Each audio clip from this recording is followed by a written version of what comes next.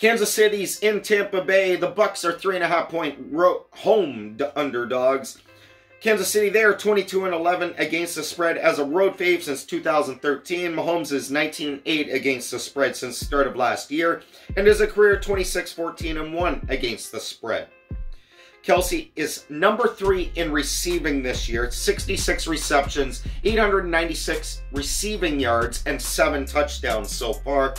Tampa Bay is 2 9 and 2 against spread in their last 13 home games.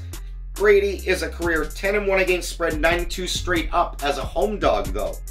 Brady is also 34 14 and 1 against spread and 30 and 19 straight up in his career as an underdog.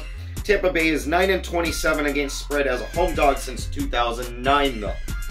Road teams are 104 and 63 against spread in Tampa games since 2009.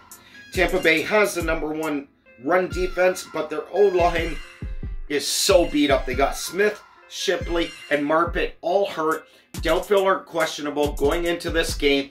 That's going to be huge for Tampa, well, and Kansas City, depending on which side of that coin you're on.